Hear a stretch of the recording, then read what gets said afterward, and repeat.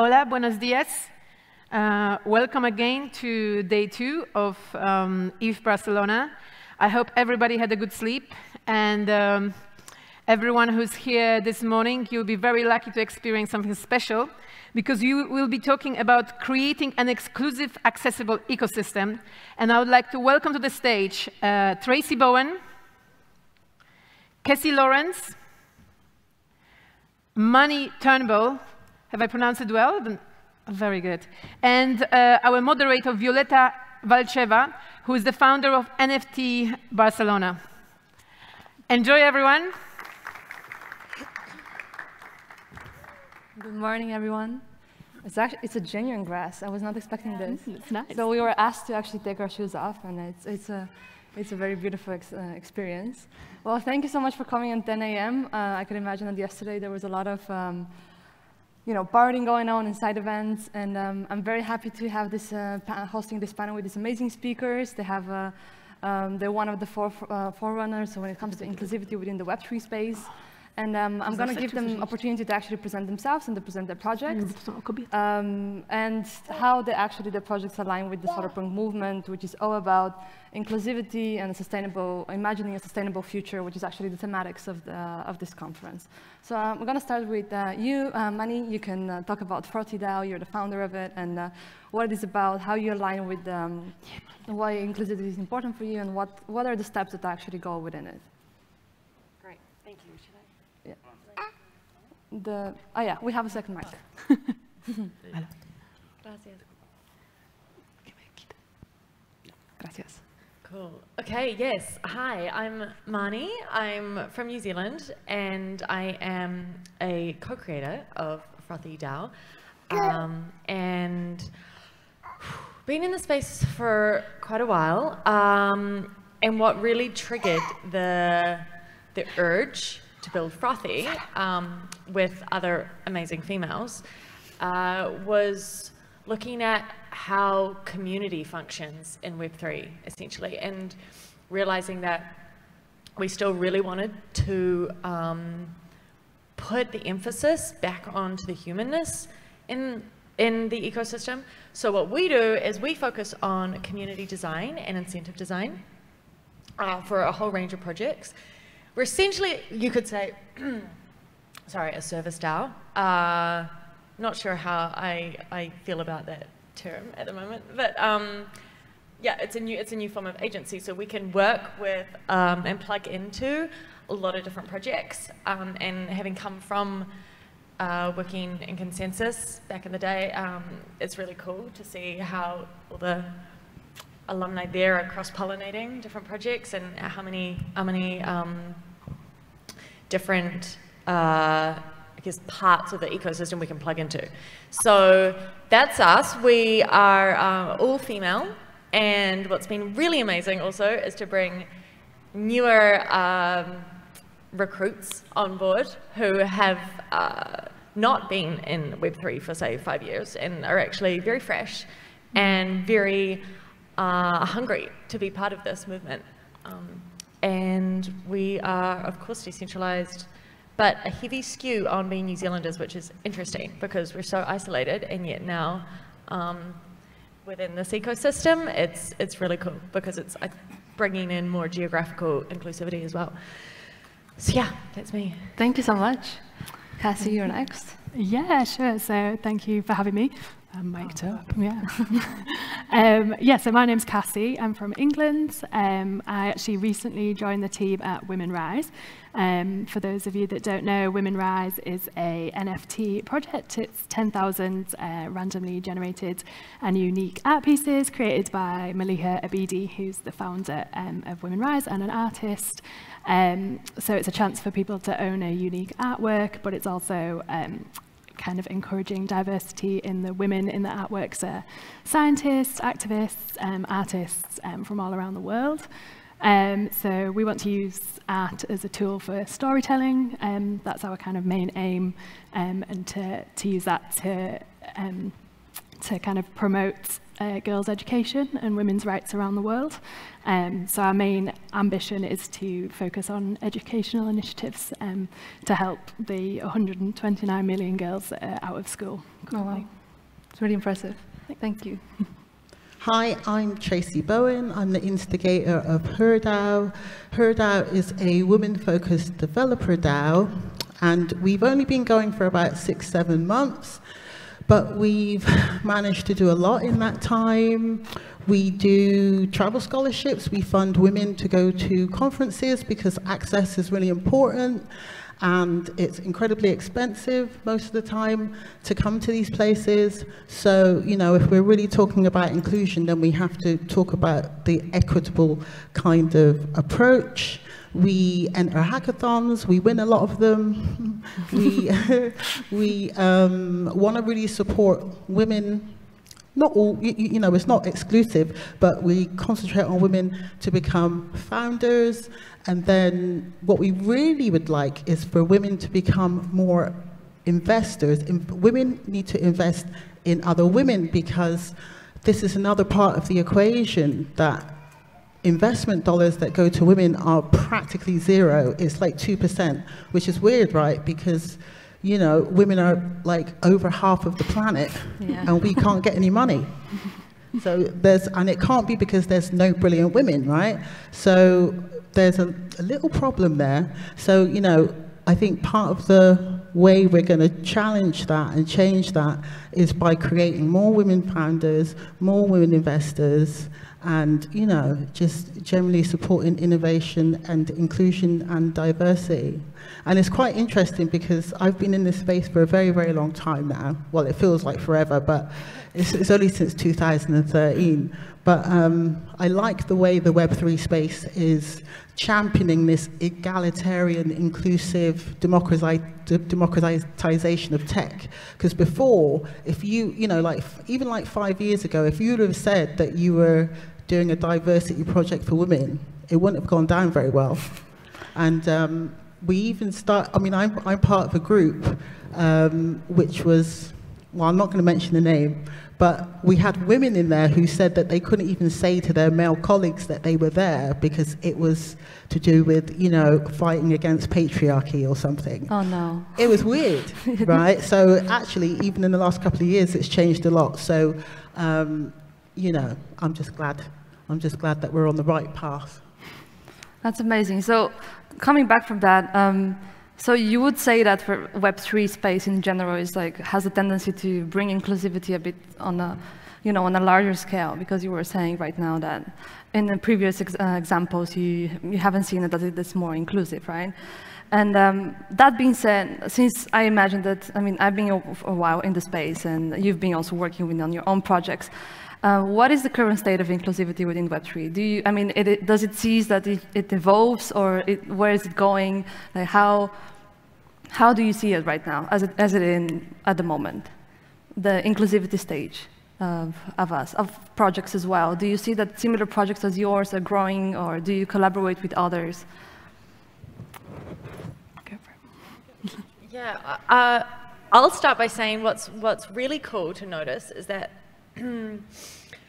now in 2022, uh, we're seeing a multiplicity of female-founded DAOs. I think, think so. That's just one important um, metric to hit on, and it's it's definitely exciting because if I think back to say ETH Denver, one o'clock back, ETH Denver 2020, I was there with two friends, um, ex teammates also from ConsenSys, and that was where we summoned Metagamma Delta as a DAO.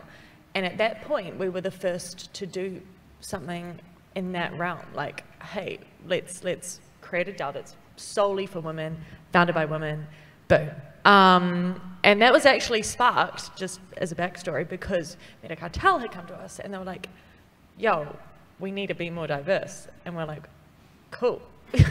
and we can actually um, kind of create something from scratch that is designed with more intention so that we, you know, have the right um, foundational diversity kind of ethos at play rather than trying to put the band-aid on later. So anyway, that, that's, a, I think, um, important to reflect on because now, um, fast forward two years, we've got HerDAO, we've got Boys Club, we've got She Fight, we've got MGD still, we've got, like, there's, there's all of these other ones popping up, and it's not competitive, and it's actually very healthy to have more cross pollination amongst the, the Fem forward DAOs. So that part of the ecosystem feels very positive and very um, frothy for me right now. Yeah.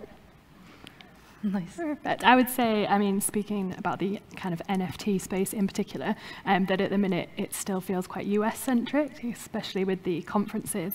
Um, so I would like to see more kind of outside of that, outside of the West. Uh, obviously, it's great to be here in Barcelona. Um, I think it's important to kind of raise uh, other voices as well. So, um, for example, at Women Rise, we um, have just recently launched a um, partnership with Voice HQ to work with uh, women from marginalised backgrounds to create their own NFT projects. So it's um, not just about people already in the space; it's bringing bringing people in. Um, so yeah, that that's really important to us, um, definitely.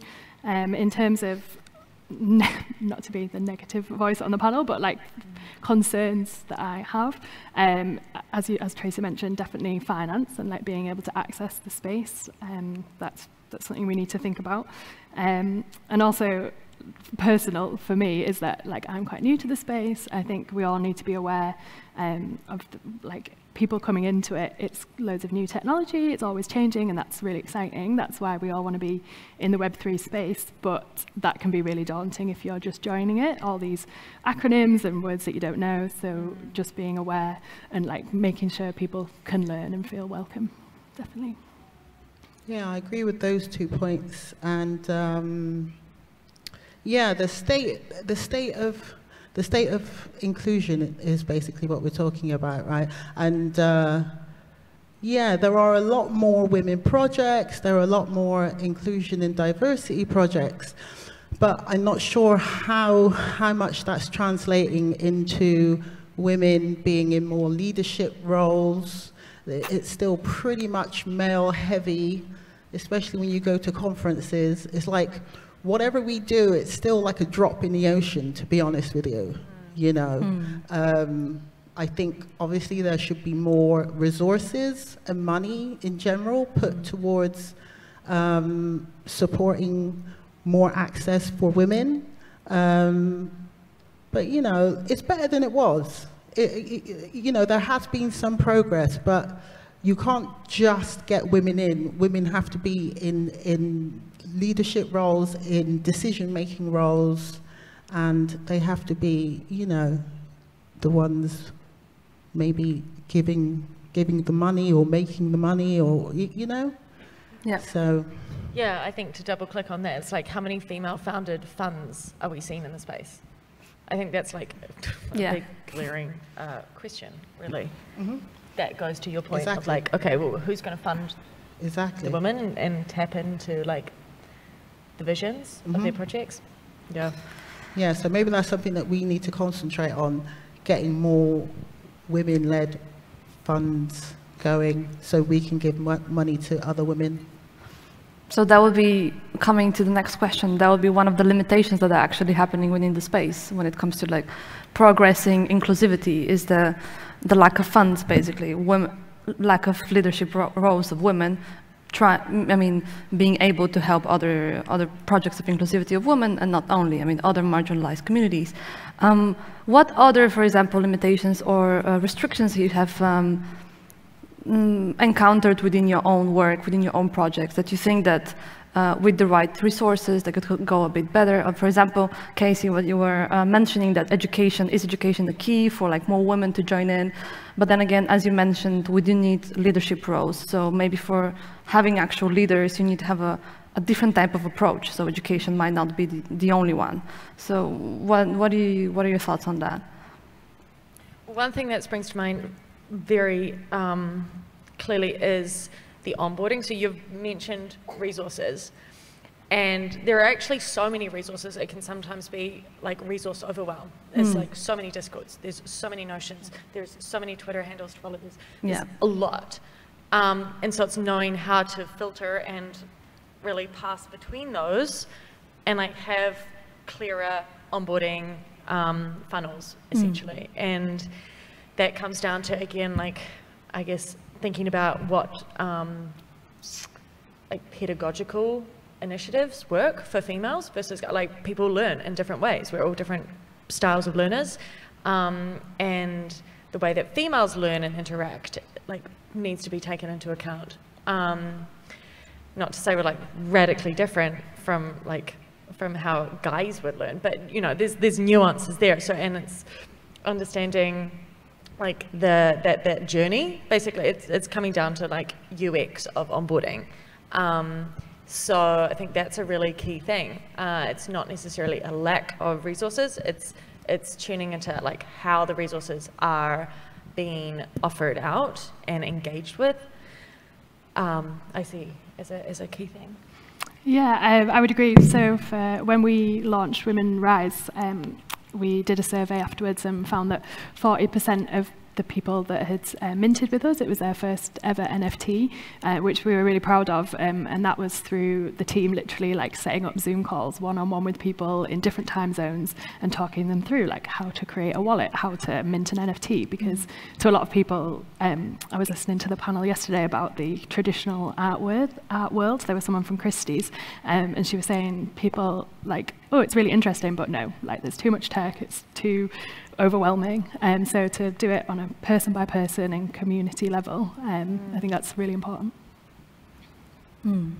So her DAO are actually expanding quite rapidly. So like the main DAO actually isn't even fully formed yet, but we're still simultaneously raising other uh, DAOs in other locations. So we're starting in Latin, Latin America, uh, we're launching that for ETH Mexico, where we'll, we'll have a hacker house full of like 30 women mm. uh, in Mexico City, which is super cool. We're yeah. also launching in Korea. So Korea Blockchain Week, we'll, we'll be launching HerDAO Korea because they're uh, the kind of, the women Web3 movement isn't so, you know, strongly formed. And so I think we can do a lot of work there. We'll be also starting in Nigeria. We're going to work with programs like mm, nice. Women, uh, Mums Who Code. This is, this is a great thing, you know. So mums are learning how to code. They're coming from Web 2 to Web 3 to be able to support their families, mm, which cool. is fantastic. So we're going to be um, doing a, a, a, boot camp and a hackathon with them. And, um, you know, HerDAO Caribbean as well, but you know, it's, it, it's that general theme of we want women to be builders because if we want the future to look like us, then we have to build it, mm. right? And so that was the main driver of HerDAO um, because I was building um, data unions at the time, actually, and I wanted to build more diverse teams, and it was it was more difficult than it should have been to find, you know, non-male white participants. Um, and then I kind of stopped doing that and I thought I need to concentrate on building a diverse developer pipeline. But in that, we, we kind of have like a holistic view of what a developer or a builder is. So a builder is like anyone who contributes to a project. So even though her DAO are technically a is technically a developer DAO, but we have artists, we have writers, we have people people, we have basically, we believe in a holistic team. Mm. And so if you have a holistic team, then you'll probably make a great product. So, you know, we're trying to, we're trying to move that on. And it's also worth saying that sustainability in Web3 is a big thing, not just environmentally, but personally for women, like, you know, I basically work all the time.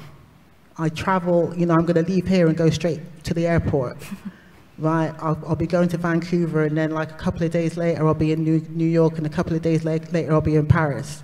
It's unsustainable. I'm like, I've been on the road for like six months. I'm barely ever anywhere, you know.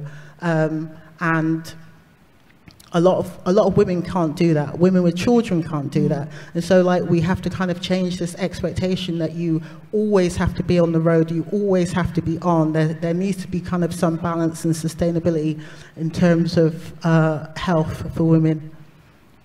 It's Amazing. Oh, sorry, I just wanted to go back to what you were saying about um, building and like having women building the space, and that's obviously so important. I don't know if anyone's read um, Invisible Women by Caroline Criado Perez. Um, she's got some great like real life examples, and by great I mean terrible, obviously, um, of of systems and software being built, um, and just not considering like the range of people that will be using the software. So um, there was an example about um, like a CV um, a software that could assess CVs so that it could go out of hiring managers' hands. Um, they looked at who was successful in the company before, and then they would input CVs that they were getting in. Um, and because people in the company that had been successful were men, it started to just automatically uh, disregard any female CVs that came in. Wow. Um, So that, like, that demonstrates quite clearly why you need diverse people in the space to begin with. Um, otherwise, even if, if it's unconscious bias, it's going to come in. Um, so you have to be aware of that. Yeah. And what you were just saying about the sustainability uh, and the, um, I guess the lifestyle sustainability piece, I think is super key. Back to your question on like how inclusive is it? Um, and at Frothy, we're thinking a lot about this. Actually, today I'll just plug this because this is super on point. Uh, 3:30, we're doing a workshop um, with a couple of other DAOs, Mochi and uh, in regards to how we can um, come up with more, I guess, solutions to this to this exact point, which is um, mental fitness and well-being within DAOs. Because it's all very well saying, "Oh, cool, I'm contributing to so many DAOs. I'm so into this and um, activated," and also like, "Okay, cool. So what's the burnout rate?" Um, and as you're saying with females, it's particularly potent because of all of the extra responsibilities that might uh, be, be um, present, whether that's motherhood, whether that's all, all of the other things. So, um, yeah, I think that's an incredibly pertinent point that we all need to consider Yeah. and really like speak to. Um, otherwise, there's going to be a whole bunch of awesome females in the space just not thriving and not operating at, at, the, at the frequency that we could be. Yeah, a lot of people are burnt out actually. Like Exactly. fifty percent of women are burnt out already, because you know.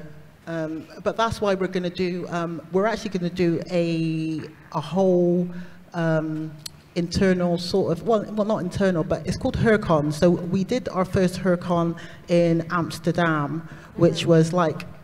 It it was an unconference space where women could just, you know, ideate and talk about what they need to do and strategic kind of building, um, just, you know, just like space to do stuff because we don't really need another panel, actually. We- don't really need like any more conferences, to be honest. But I mean, I don't, to be honest. But um, uh, it's just, I think the main thing is that we connect. No, but it's just like when you go to a conference, the best times I have is out in the hallway, in the lobby, talking, talking, talking to people. You know, I'm not really sat in a chair, do, you, you know, to li- listen to speakers. Um, but we're actually going to have a HerCon in Bali um, as a hybrid retreat and hackathon. And we're going to hack on Web3 and wellness, right? And so, yeah, Is this going to be at this is going to be in Bali. This, uh, yeah, yeah. So we're going to release the details later, but um, but we're we're hoping to have people come in, but we're also hoping to energize the local community because there's quite a big actually crypto community in Bali, and a lot of them are women. yeah. Um, yay! so, so I'm hoping to um, make that a thing, where where we can we can have retreats and we can hack as well. But you know, you can hack with ideas. You don't really always have to have your computer out as well. Um, but yeah, so it, I, I- I think it is about you know, I think what what we're all really trying to do is trying to push the culture along a bit, like change it from this quite toxic, you know, work, Yeah. work, work. Um, It's like the, it's the carryover of the Web 2 hustle, Yeah. hustle, Hustle, culture yeah, yeah. vibe, which We don't doesn't need need to we don't need flow it. in, in the same direction. Just get rid of it. Just get rid of it.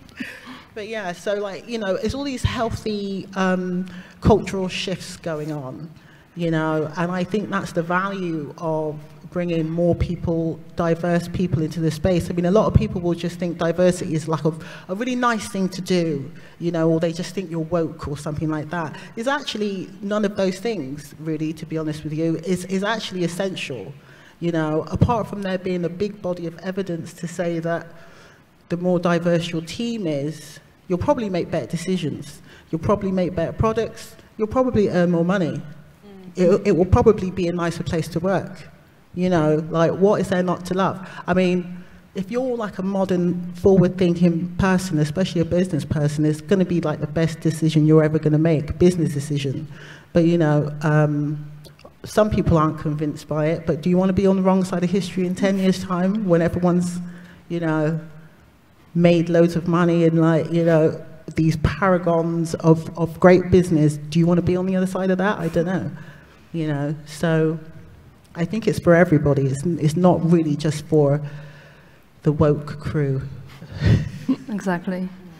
I think that's such a all the points that were just made. They were so on point, specifically because I, the more inclusive it becomes and the more sustainable. It's really good that you mentioned sust- sustainability. It's going to be also better just for everyone. And the, the second point that you just mentioned, um, how inclusivity is not about you know doing good for. I mean that's also part of it. But at the end of the day, the more diverse um, thinking you have, different experience, background, people from different parts of, they could bring something unique to the space. And when you have unique ideas, it moves forward and is innovative and sustainable. So. Uh, to recap, just to so better education, which is more individualized, as you you both mentioned. So it's not about just one model fits all, and then making more sustainable and wellness uh, decisions, and you know changing the ecosystem, and of course, yeah, more interactive and immersive experiences, as you mentioned, the hackathon in Bali. I'm really excited about this. um, I mean, I could speak for everyone here right now. um, but um, yeah, I think that being said, what we're just thinking about, we all speak about community within Web3 space, right? That's like a, the key word for us. It's all about building community, coming up together, and that's really important because that's all about what DAOs are, and NFT as well. You know, big projects at Women Rise, the World of Women. It's really about you know belonging, and there's a strong storytelling behind it. I mean, even when it comes to uh, design and branding and everything. I'm also curious to what are your thoughts on what an, an individual can actually, um, in, you know, support for a more inclu- inclusive ecosystem. What kind of decisions and what kind of steps, more practical one, maybe you know, for the audience and for um, they could take to actually contribute. They could be also smaller ones, whether it's about following, joining a DAO, maybe not joining a DAO. Uh, you know, what are your thoughts on that? More from an individualistic perspective? I mean, I think everyone could check their networks, and check their environment. So, like, if you work somewhere and you know it's probably not that inclusive or not that diverse, you could kind of take small steps to maybe bring that to the fore. You know, uh, that's a good thing. Um, also, just get more different people, just get more diverse people in leadership roles. Like, you need them, you know? Um, fund people like HerDAO. um, but no, seriously though, you know, we need, we need investment dollars. But I think we, we can actually do this for ourselves, you know? It's not necessarily just we're not like begging people for money, you know. It's like we can we can set up these um, investment funds or create our own economies, but it'd be much better if people just help us, you know. Um, so it's kind of being aware about what value diversity can bring, and um, just recognizing what what we need. Um, but yeah, we could also not do so many conferences in mega cities where it's super expensive. We could do that. Um, I think I think that's happening a little bit. I think there's going to be um, some things happening in India, um, some some more things happening in Latin America. Uh, not enough is happening in the Caribbean. I mean, I don't think Crypto Bahamas counts because it was like wall to wall VCs, so I don't Yeah. think that counts um, as inclusive. But but yeah, so just just just little things like that, to be honest. I think I almost expected you to then go into the um, the uh, multi multi age aspect because we were talking about that prior to the panel.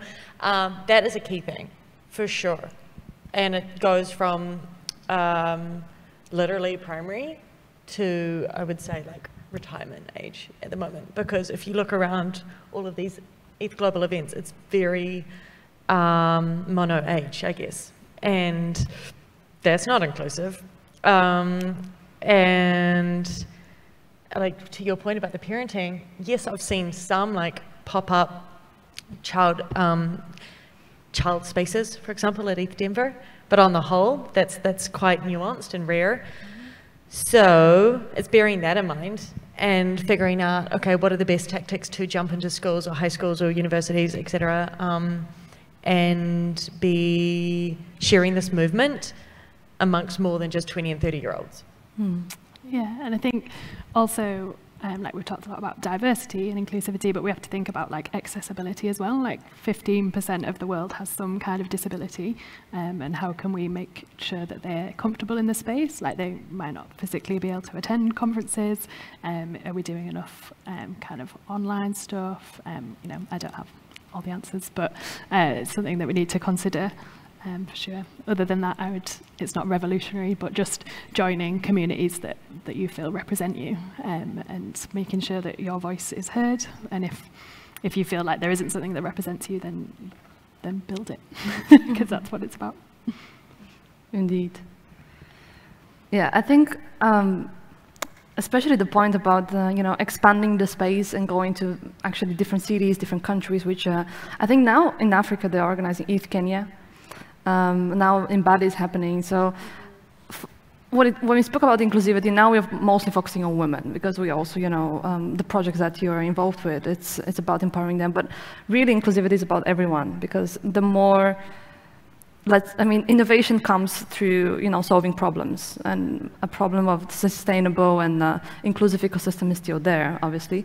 So those problems, if they are to be solved um, or to be improved at least, they will be beneficial for everyone, right? I mean, it's not only for for women within the space.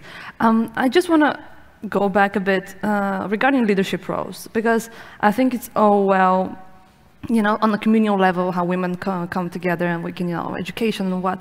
But um, leadership roles, uh, especially whether it's uh, within more institutional structures or within the Web3 itself, um, they're very little still. So um, is it something that we need actively to educate women on, you know, to be um, maybe within the hackathon, for example, is it like, okay, uh, it's about ideas, right? So how you can actually lead on, how you can create your own project, how you can empower others. And um, I think that will be something really key for us um, as a community as a whole to actually bring more uh, within the table.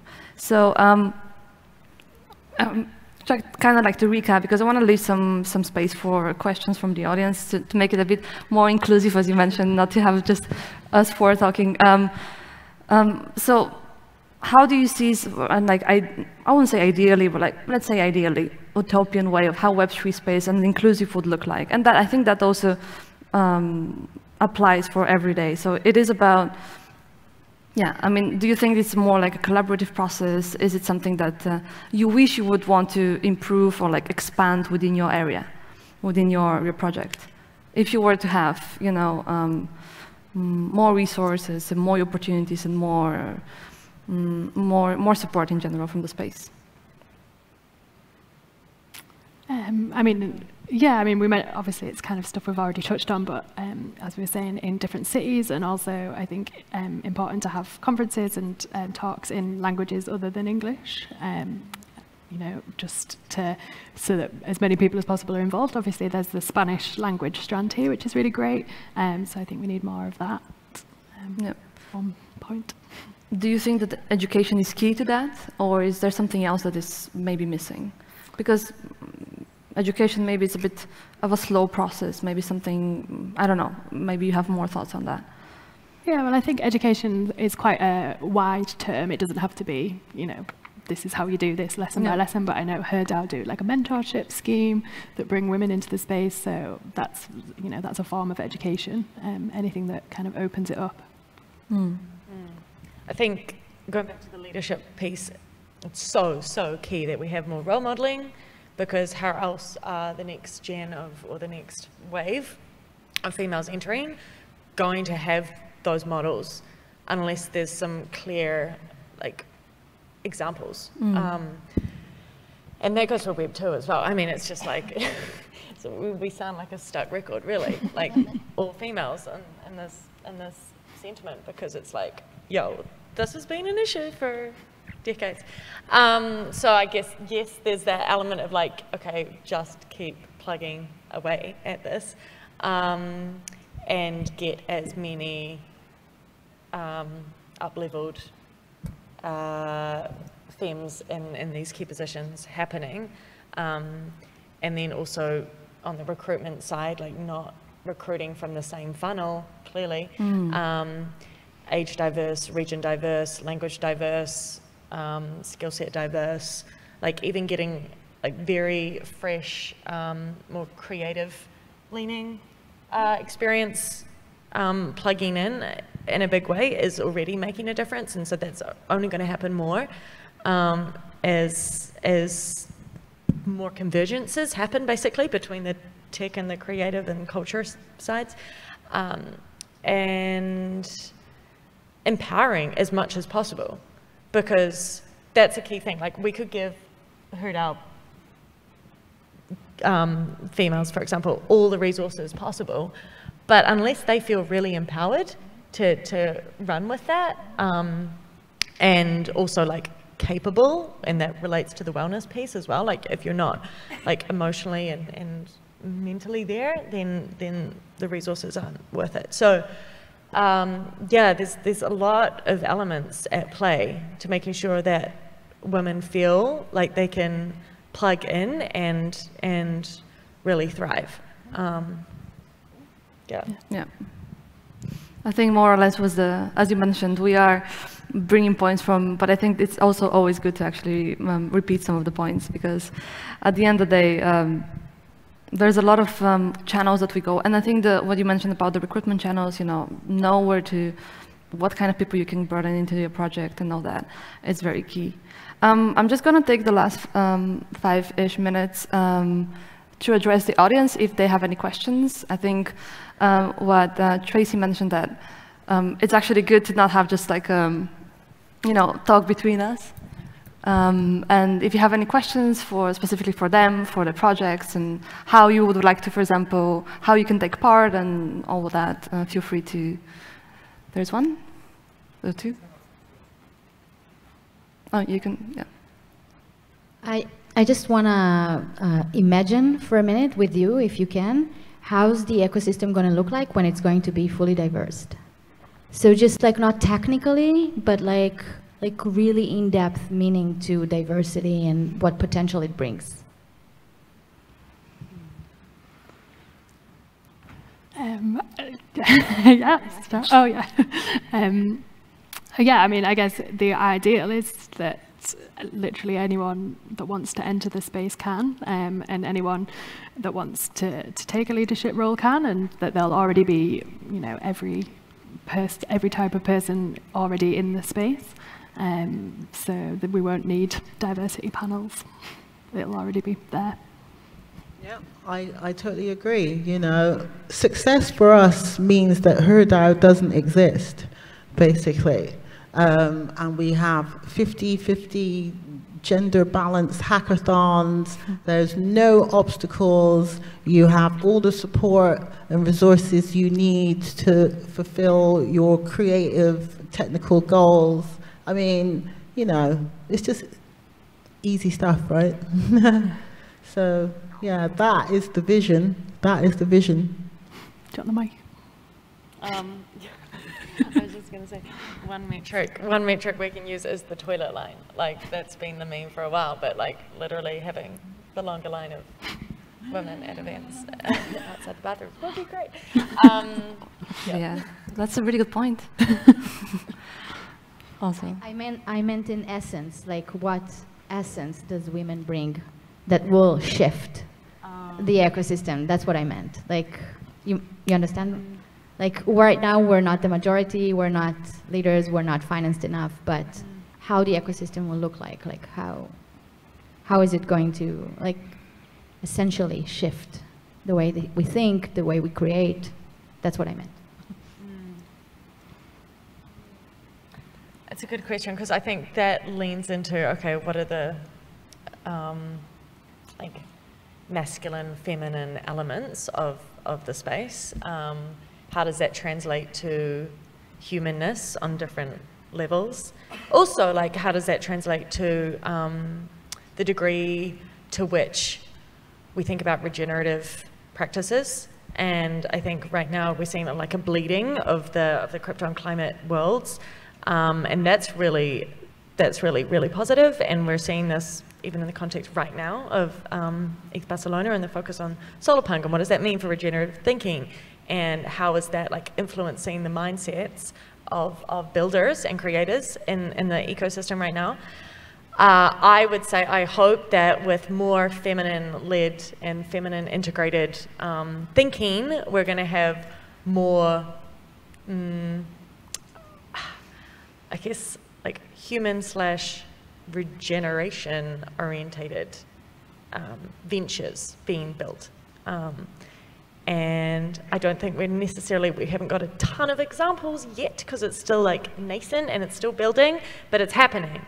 Uh, and I'm really excited for what that future looks like um, and how it's, it's, it's kind of coming back to a remembrance of the humanness at the, at the bottom of all of this.